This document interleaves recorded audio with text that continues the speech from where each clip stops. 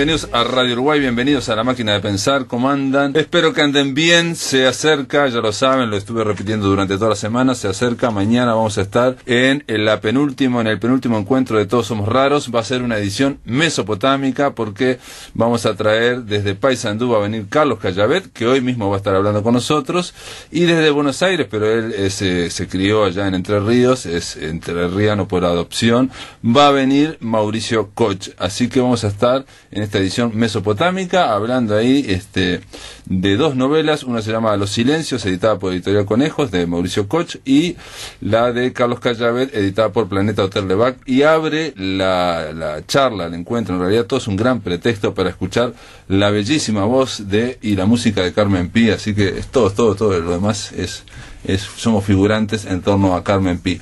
Pero hoy vamos a eh, continuar de alguna forma, no sé, pero vamos a seguir los vínculos con Argentina porque vamos, estamos recibiendo a dos escritores rosarinos. Ellos son Pablo Colacray. ¿Cómo andas, Pablo? ¿Andas bien? ¿Cómo estás? Bien, bien. Y Javier Núñez. ¿Cómo andas, Javier Núñez? Bien, todo bien. Muchas gracias por la invitación a estar acá. Eh, nos mandó un correo Paula, Paula Turina, que está aquí, es la, es la manager de, ellos, este, y en realidad son tres escritores rosarinos que vienen acá a hacer una especie de pequeño desembarco y van a hacer una charla en la ORT, ya la hicieron hoy, en, la, en la universidad, en la Facultad de Ciencias de la Comunicación, y el sábado, esto es lo importante, este sábado a las 19 horas, van a dar una charla sobre escritura creativa en Moebius Libros, que está aquí muy cerquita de la radio, está en Sarandí. Eh, no, perdón, en Pérez Castellano 1432, pero está cerca de, de Boulevard Sarandí y este, está acá a pocas cuadras de Gerardo Bellot.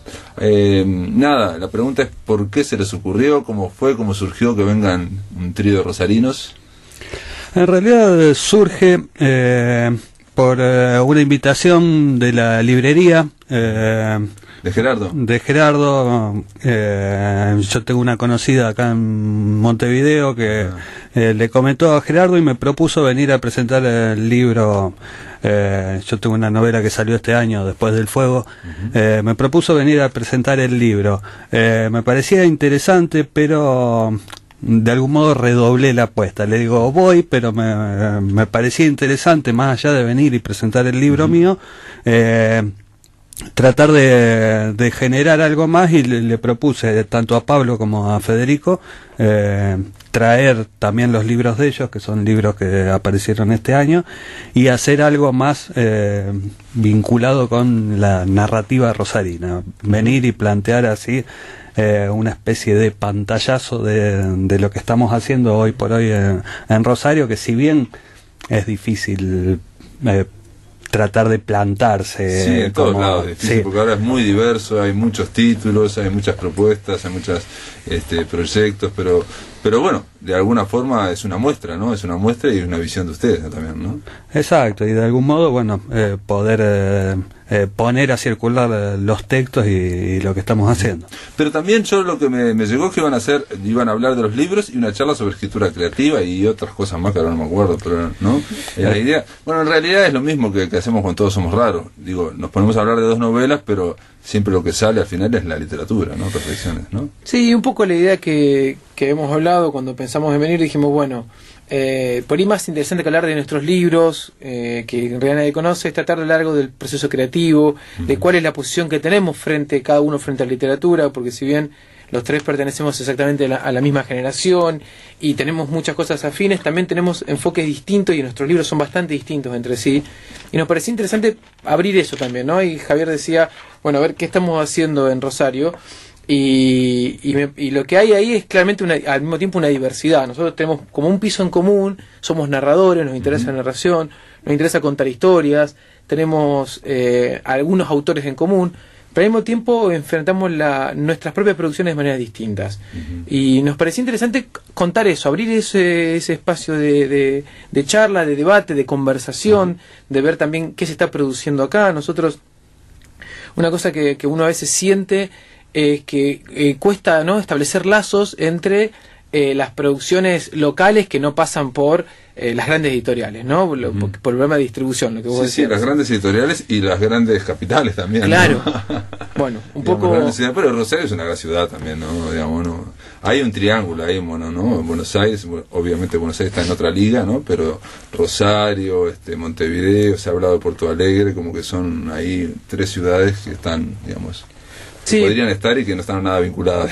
No, ese, que no están vinculados. Y un poco nos Nada. interesaba eso. Nos interesaba, así como nosotros en Rosario nos interesa ir reuniéndonos, conocer qué está pasando, eh, bueno, ver qué está pasando en otras ciudades de dimensiones similares.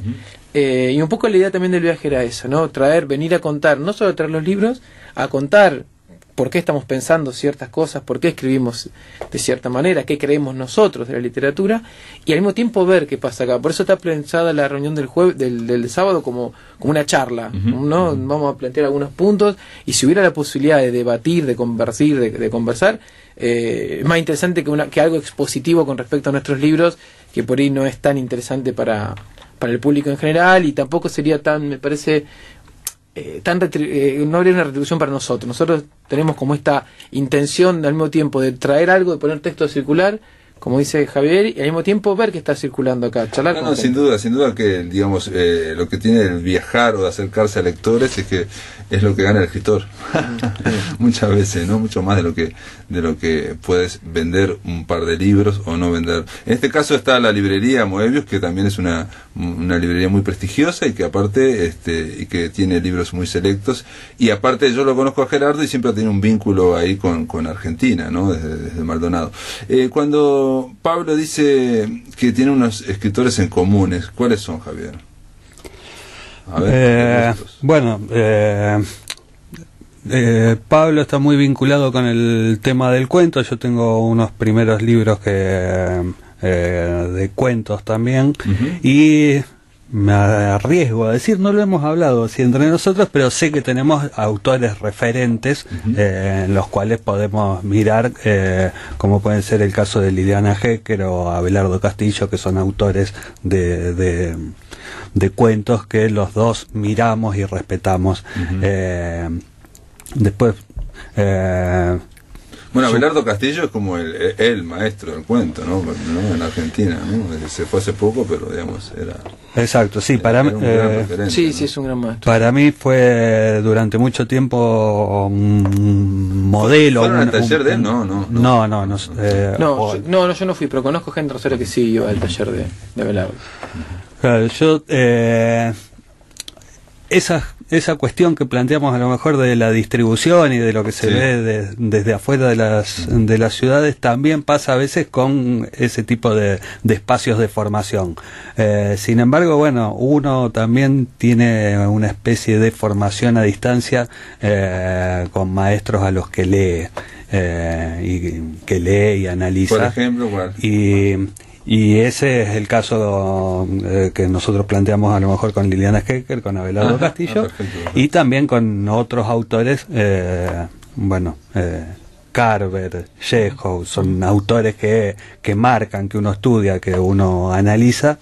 Como cuentista, Lucia Berlin también, ¿no? Hace poco, ¿no? Sí. Sí, eh, bueno. pero es reciente Lucía Berlín, ¿no? Es como el reciente, año pasado. pero justo es una lectura que nos compartimos Sí, eh, hace un tiempo. Ujú. sí. Es una, una, una escritoraza, sí, sí, sí, sí, una buena escritora. Eh, yo les contaba que en Todos Somos Raros, este año lo inauguramos con Osvaldo Aguirre, por el lado, digamos, argentino, que bueno, es un, es un poeta y periodista, si bien nacido en la provincia de Buenos Aires, muy vinculado a Rosario, to- totalmente vinculado. Sí, vivió en Rosario, de hecho, hasta hace dos o tres años. Sí, ¿no? sí, sí, vivía y aparte me dijo que sigue trabajando, sigue haciendo talleres y charlas en la universidad.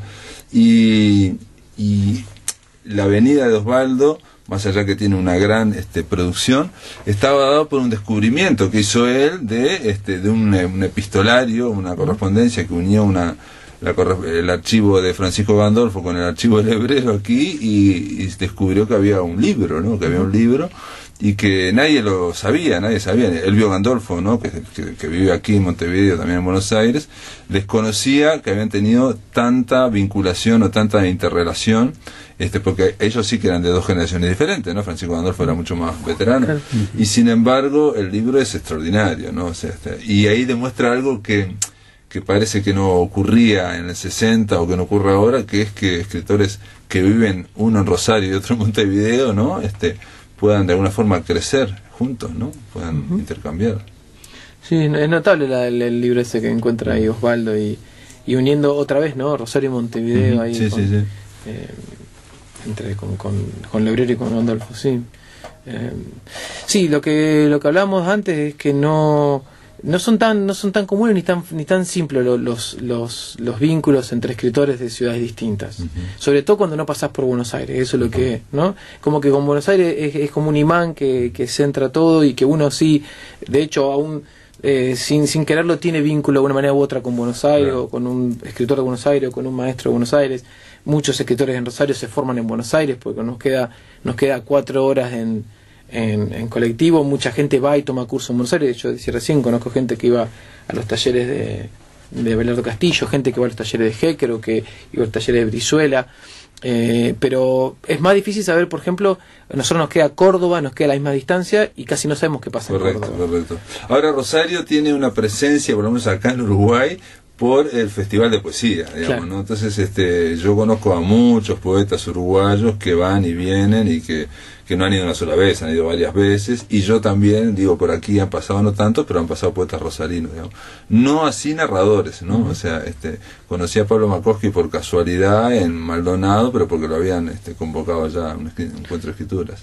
Sí, Sí, el tema, eh, o al menos la sensación que tenemos nosotros, y que también lo hemos charlado en algún momento, es como que el ámbito de los narradores eh, tiende menos a esas acciones colectivas. sí, Eh, Ciclos de lectura de poesía, por ejemplo, en Rosario hay muchos ciclos de lectura de narrativa, exclusivos de narrativa, eh, no son tan comunes. Eh, festivales, espacios, así en este momento en Rosario son menos habituales. Bueno, el- justamente el Festival de Poesía es un festival que se hace desde hace Sí, muchos sí, años, sí, que ya tiene su, su prestigio bien ganado, eh, está establecido. Y de algún modo, bueno, creo que parte de esto tiene que ver con, eh, con buscar y generar nuevos caminos y nuevos recorridos para, eh, para la narrativa, para encuentros tanto locales como, como estos cruces con, eh, en este caso con Montevideo. Y, y fundamentalmente tratar de proponerlos y generarlos Claro, claro. eh, sin esperar que, que vengan a lo mejor desde, desde instituciones establecidas, eh, sino eh, salir a buscar eso. De acuerdo, es lo que están haciendo las editoriales independientes, chicas, medianas o muy chicas en Buenos Aires, claramente. Este año por primera vez a la Feria del Libro Montevideo eh, desembarcaron por primera vez, tuvieron un stand, ¿no? Y bueno, y se movieron y este hicieron la COP, ¿no? Entre ellos, ¿no? Que son como 15 sellos para hacer una cooperativa. Vinieron otros más, pero sobre todo la COP y este y, y- y reitero, hace un par de años que están y recién ahora vi- vinieron ahora, digamos, ¿no? También es, son movimientos siempre em, y no estaban financiados por nadie, me parece. No, no. sí. No, Me yo- parece que no. Sí, yo justamente estuve con algunos, eh, fui a leer a Buenos Aires unos días antes de que vinieran eh, acá a la feria de Montevideo y estábamos, me estaban contando de- del evento. No, Sí, no, sí. está hecho muy a pulmón. Lo también. hacen todo a pulmón, sí, sí, sí, con mucha fuerza. Bueno, vamos a hacer una breve pausa, amigos. Estamos conversando en la máquina de pensar con dos escritores rosarinos, dos narradores que van a estar este sábado, este sábado 11 a las 19 horas, en la librería Moebius, eh, ahí que está en Pérez Castellano, 1432. La charla va a ser sobre sus novelas, pero también va a ser sobre la escritura narrativa, el proceso creativo y sobre lo que cuadre. Quiero decir también, porque me había olvidado, que eh, queremos agradecer desde acá a Rosana Guardalá, que también eh, hizo un vínculo el año pasado con los escritores y narradores este, rosarinos y nos trajo un par de libros. Después de la pausa, amigos, seguimos aquí en la máquina de pensar. En el aire de Radio Uruguay, La Máquina de Pensar.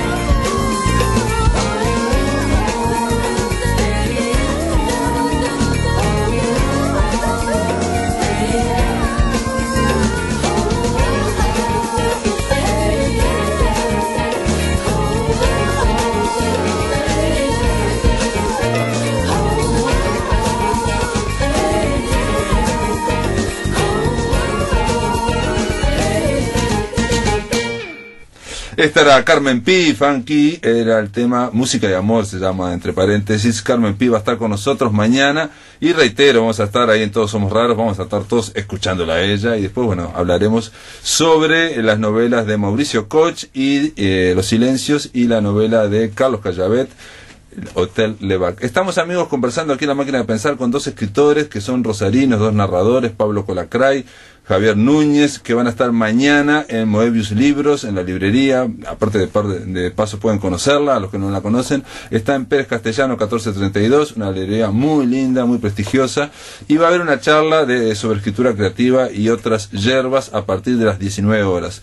Eh, estamos hablando fuera de micrófono y hablamos esto de, la, de, la, de lo que es la los vínculos, porque es raro que en una época en que por un lado estamos tan conectados, ¿no? Digamos, este, yo que sé, Rosana Guardalón me escribe a mí, me dice tal cosa, digo por Facebook, no la conozco, te voy, a, te voy a llevar tal cosa, voy a llevarla a otros periodistas, en fin. Por un lado estamos mucho más conectados, supuestamente, pero por otro lado parece que nos conocemos menos. Eh, por lo menos en cuanto a narrativa, literatura, digo, uno habla con los pocos críticos que quedan y este y no no hay visiones, digamos, de lo que se está produciendo todo en Argentina, o lo que no hay no hay gente que te diga eso. Habrá visiones de lo que se produce en Rosario, en Córdoba, ¿no? Sí, creo que hay eh, hay visiones que están hay visiones parciales a lo mejor de lo que se produce en determinadas regiones. Hay intentos eh, de, tener un panorama eh, muchas veces hay un intento de tener un panorama de lo que se produce en Argentina. Eh, pero siendo conscientes de sus limitaciones y reconociendo ellos mismos que ese panorama eh, hace un recorte donde deja deja fuera al interior. Eh, deja afuera al interior. Una vez Luciano Lamberti, también que lo conocí, le, le, dije, pero vos tenés muchos libros. Y dice, sí, pero yo estoy en Córdoba y no existo. Ahora está en Buenos Aires. los casos de Lamberti y Federico Falco eh, empezaron en Córdoba eh, pero se, se, fueron a Buenos Aires y después, eh, ya estando instalados en Buenos Aires, empezaron a tener eh, otro tipo de circulación. De hecho, nosotros los conocemos desde que están en Buenos Aires, no los conocemos de antes. Ah, bueno, yo lo conocí por estos encuentros de escrituras, claro, porque lo habían invitado de Córdoba, todavía estaba viviendo en Córdoba, eso fue hace un par de años. Selva Almada también es de Entre Ríos, pero también vive desde hace mucho tiempo en Buenos Aires, ¿no?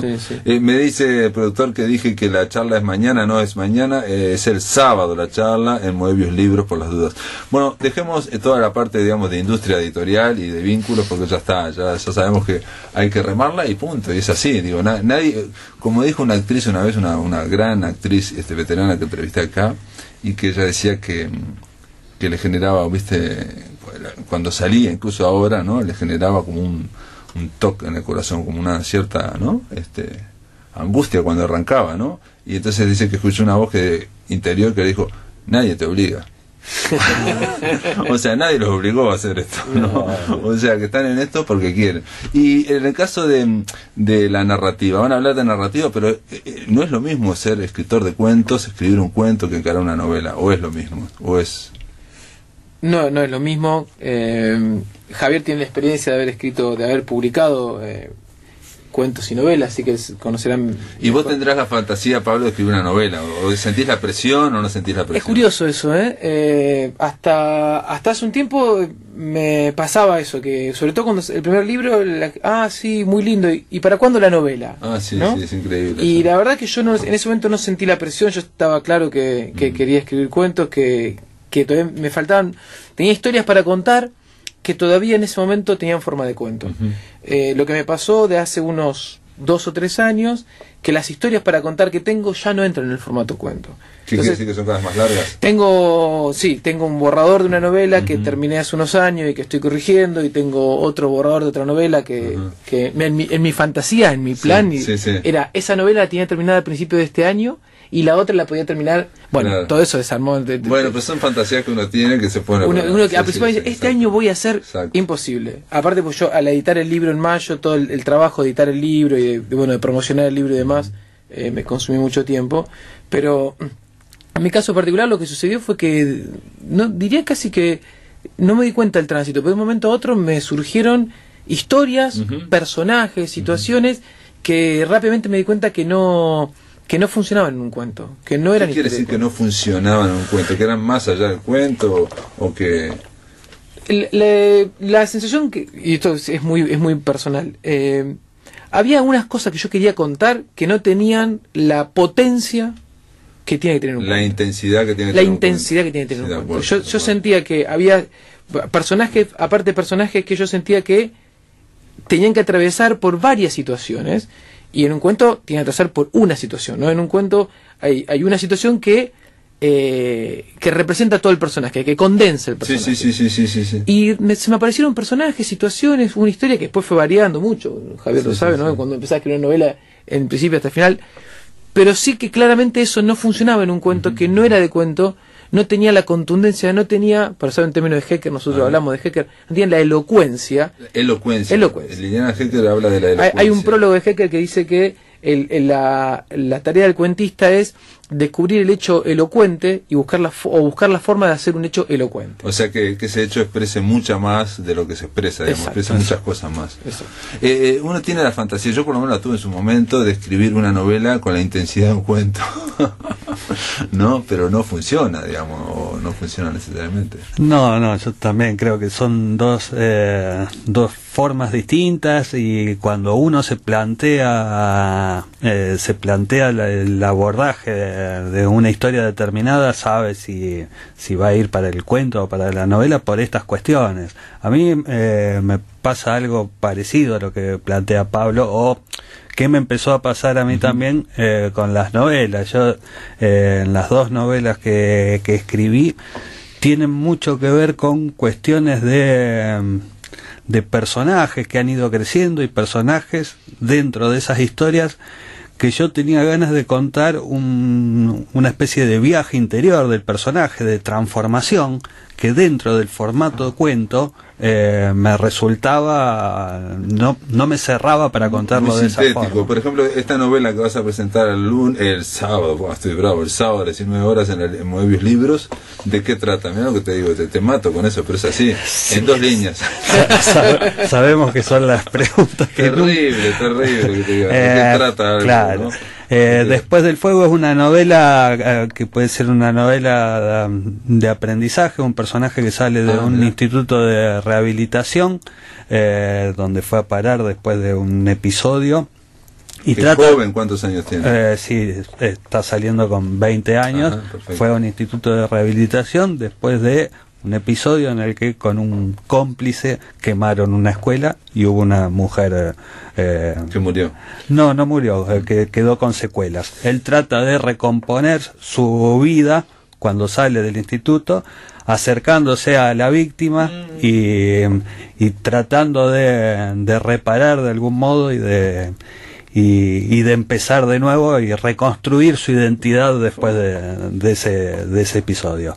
Eh, bueno, una, una novela una novela más o menos breve a pesar de, de las páginas, eh, bastante ágil en su lectura por los comentarios de todos Sí, los que sí, la han sí. leído, pero bastante intensa también. Sí, claro, bueno, el tema de la intensidad. Hay otro formato que no hablamos y que es el, el- el- el que está entre medio de la novela y, y el cuento, que es la novela corta, es el formato de novel, que permite, este, de alguna forma, controlar una novela corta como si fuera un cuento, porque sea una novela, eh, yo siempre me pregunto también cómo corrigen los novelistas esto de que escriben mil páginas, porque digo, hay que tener una visión como panorámica, como si uno hubiera en helicóptero.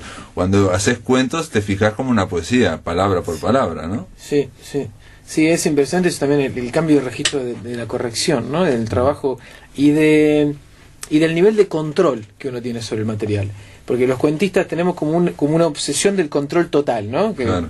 que, que claramente no, no, no es del todo eh, eh, no, no es del todo interesante porque uno el control total no está bueno pero uno sí es Pero como una es como una si es como una, poesía, fa- es como una como si- fantasía que pero uno como si fuera una poesía, claro. y cuando uno va a un texto más largo, claramente eso no, no puede funcionar porque uno no puede eh, captar de un vistazo todo el texto. No. Entonces ahí el trabajo es distinto, ¿no? Es este trabajo de acercamiento y de distancia, ¿no? De distancia Exacto. para ver la curva narrativa y el arco narrativo y, y después de acercamiento para que el texto no pierda eh, no pierda calidad, no pierda intensidad. claro, sí, sí, sí. Eh, Yo creo que es más difícil esa, esa- hacer el zoom hacia afuera, hacia arriba, ¿no? Y tener la distancia, ver, porque una cosa puede estar muy bien narrada, una escena, pero en la, a la distancia eh, está demorando demasiado la novela, o no tiene tanto que ver, o bueno, no, Sí, no al- genera esa intensidad, Ah. esa, intensidad, digamos. Y al mismo tiempo puede tener, puede funcionar perfectamente como un eslabón de la historia general y no estar bien escrita.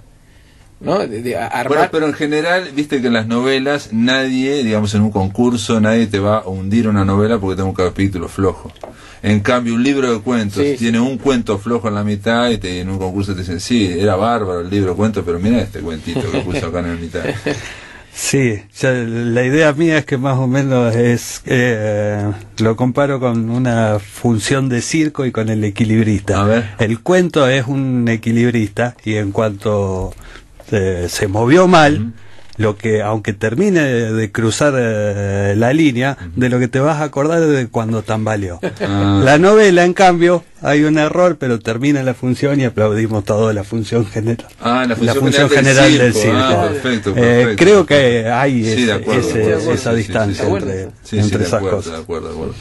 Bueno, eh, muy bien, está hecho el planteo, para mí fue un placer conocerlos, Pablo Igualmente. Conacray y Javier Núñez, este, bueno, vamos a ver si, si quedamos en contacto, supongo yo que, que habrá algunas otras visitas, he pedido desde, desde ya cuando vengan, Ojalá que sí. este, los invitamos a la máquina de pensar, y reitero amigos, mañana, sa eh, mañana no, mañana, mañana todos somos raros, el, mañana es viernes, el sábado, 11 a las 19 horas, van a estar Pablo Colacray, Javier Núñez y Federico eh. Ferrogian.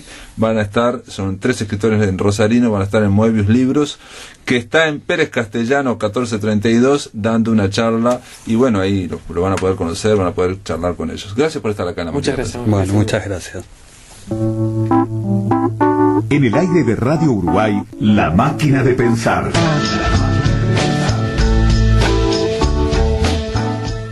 Muy bien amigos, ahora en la máquina de pensar ya estarán medios aburridos, pero vamos a seguir insistiendo una y otra vez.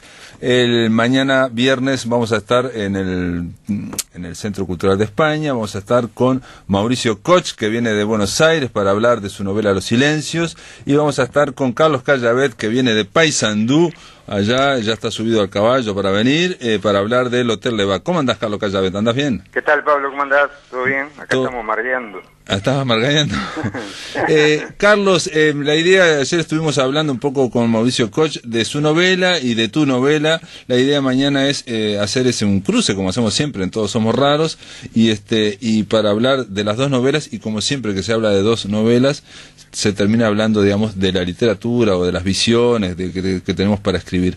En tu caso, ¿cómo ves a Los Silencios, esta novela de Mauricio Koch, que transcurre, eh, quizás no lo dije, transcurre en Hernández, que es un pueblo este, que está en Entre Ríos, de 2.000 habitantes, que no tiene ninguna costa, es raro porque Entre Ríos todos están cerca del río, sino que está en la mitad y es uno de esos pueblos que hemos visto y que hay aquí también en Uruguay, que en realidad crecieron en torno a una estación de tren, ¿no? Ahí el pueblo creció en torno a una, una estación de tren y en los 90 eh, se suprimió el tren en Argentina como aquí también y esos pueblos quedaron como medios a la deriva. No, no, sé cómo la viste, que, ¿cuál es tu impresión?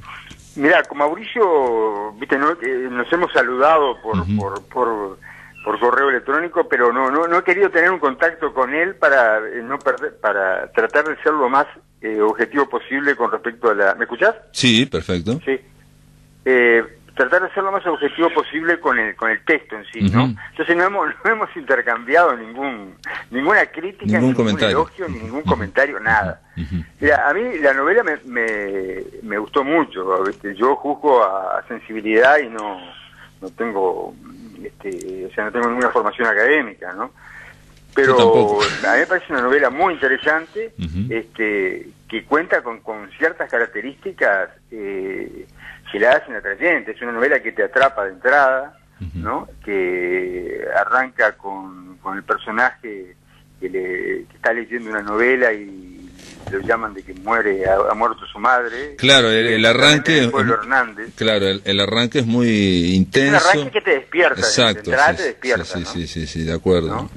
Y este es una novela corta ¿no? Pero que yo te escuchaba recién eh, en una entrevista que estabas haciendo, es una novela corta que vos es que tiene, eh, la, yo te diría casi la intensidad de un cuento, ¿no? Este, Sí, sí, en sí. un momento sí, la sí. atención decrece, ¿no? Sí, sí, sí, de acuerdo, de acuerdo, de acuerdo. Es una novela que, que es muy intensa. También tiene una estructura media extraña ahí, digamos, porque digamos como una especie de collage de va y viene. Yo por lo menos no lo pude discernir viene. bien.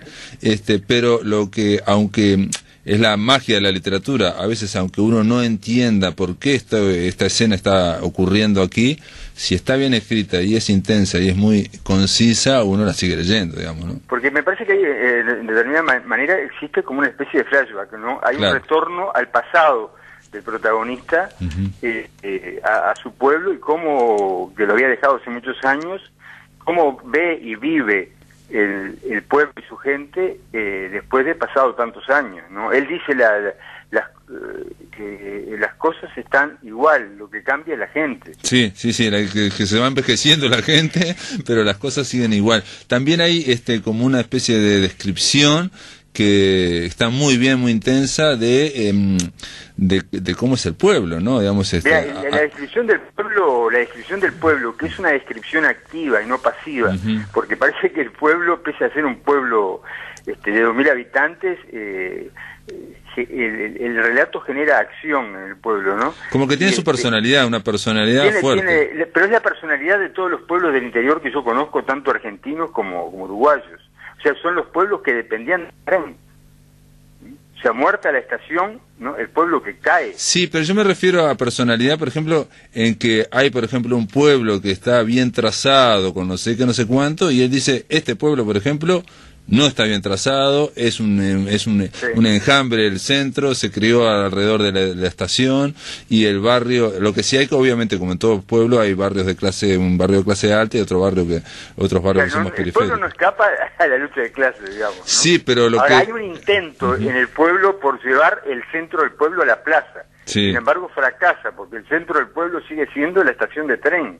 Sí, sí, sí, no, Y incluso... vos que este, sos de Fraivento sabes bien cómo era el tema del. Bueno, eh, por ejemplo, en, en Nuevo Berlín, por ejemplo, si uno va a Nuevo Berlín, la mitad del pueblo, digamos, está, está trazado para que, que- que crezca y la mitad del, del pueblo está vacía, ¿no? Porque creció para el otro lado. Claro. Eh, digamos, de, de- de lo que es la, la principal, ¿no? Uno di- dice la principal y sin embargo no está en el medio, está a un costado la principal. Hay un intento ahí por replanificar la- la- la- el pueblo, ¿no? Pero que fracasa, ¿no? Fracasa porque los centros de, de interés y de, y de movilidad están en otro lado, ¿no? También lo- hay cosas muy interesantes. La, la, una cosa que me llamó la atención es cómo el, el, el lenguaje, la estructura, sí, puede ser un poco extraña, pero no pierde fluidez. La No, estructura no pierde, no nos hace perder la fluidez de la historia, ¿no? Sí, sí, sí, de acuerdo. Este, Y nos obliga también a tener que juntar los pedazos también, ¿no? O sea, te, te Sí, obliga. hay, hay un puzzle que se arma, yo creo que se va armando de a poco, de a poco, hasta que al final se completa, ¿no? Ujú, de acuerdo, ¿No? Que sí. es el, el- retorno de él a... a- o sea, es decir, parte de Buenos Aires hacia su pueblo y retorna a Buenos Aires. Claro. Este, el puzzle se, completa, cierra bien, ¿no? Pero a pesar que cierra bien, deja muchas cosas insinuadas, ¿no? Por ejemplo, el, el tema de- del, del poder. ¿Por qué ese- sea, en ningún momento se dice que ese pueblo, por una decisión gubernamental o de interés económico, que yo qué sé, este, dejó de, de circular el tren, dejó de pasar el tren y se vino abajo, ¿no? Claro, porque aparte eh, había una especie de, digamos, de, de tiendas o de fábricas o de talleres, todos trabajando en torno a, eh, digamos, hasta los repuestos de, para los trenes, ¿no? Y eso es... el es- mismo es- personaje principal trabajaba en, Claro. en un taller este, que, que hacía piezas para, para, para los trenes.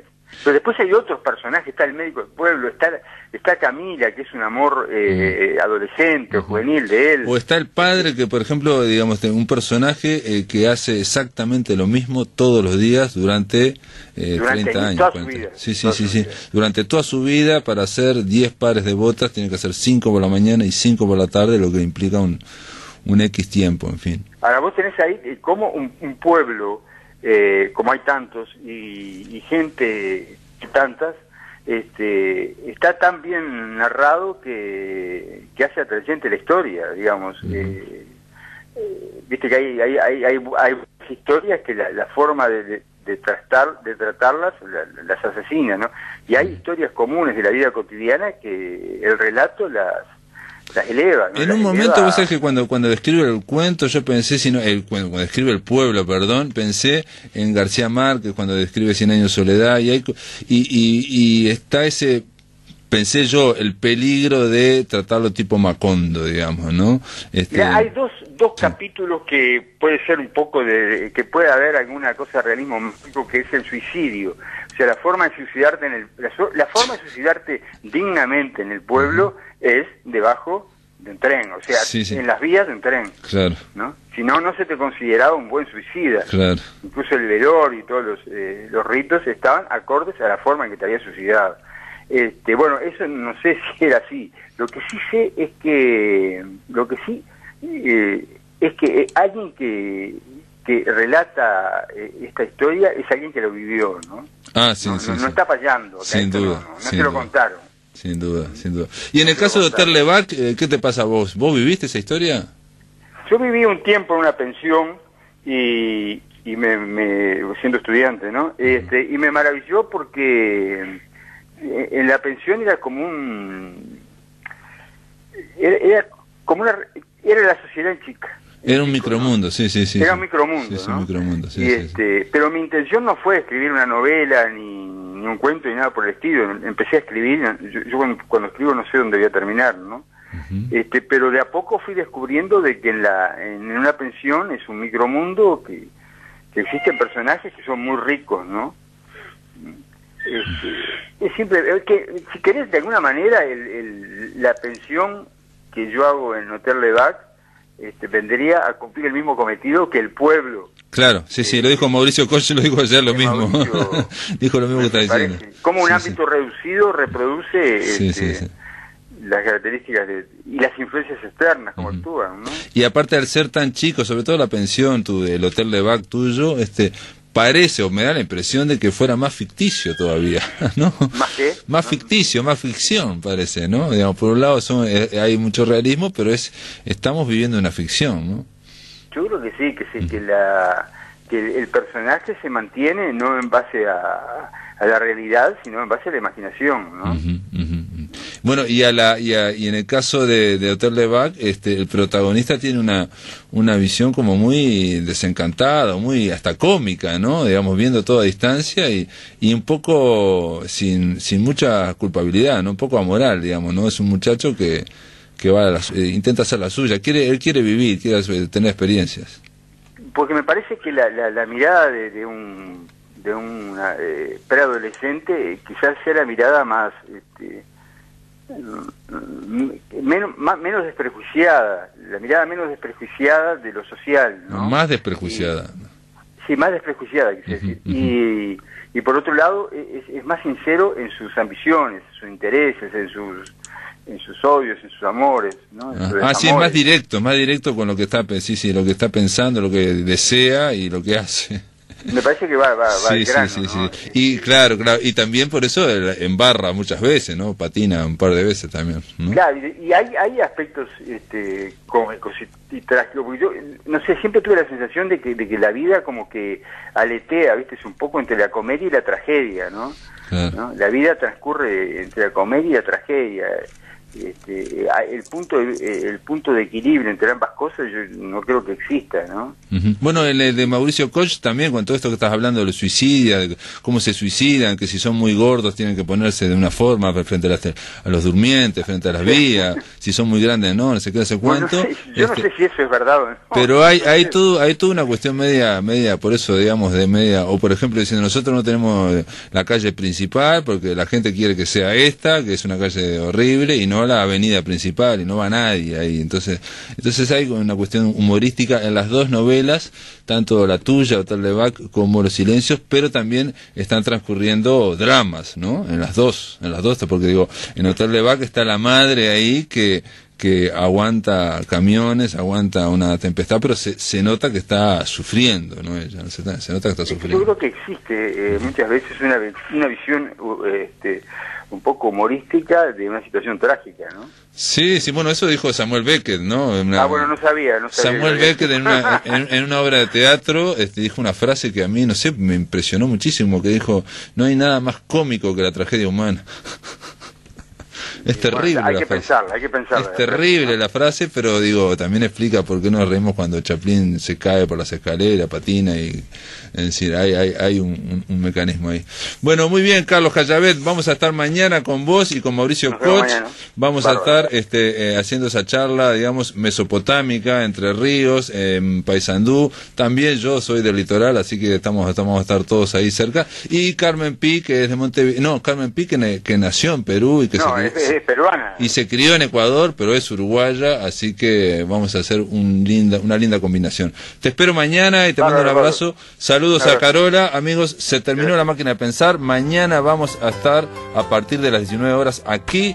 Vamos a tener un programa especial. Vamos a escuchar las eh, ponencias que hubo en el reciente en el encuentro Laza Conosur. Ustedes saben, bueno, nos invitaron a nosotros para hablar sobre, en una mesa sobre Mario el Hebrero. Entonces vamos a escuchar la ponencia de Matías Núñez, que es muy interesante sobre el hebrero y el humor, y la mía, que no es tan interesante, pero vamos a escucharla. Y mañana seguimos aquí en la máquina de pensar. Que lo pasen muy, pero muy bien.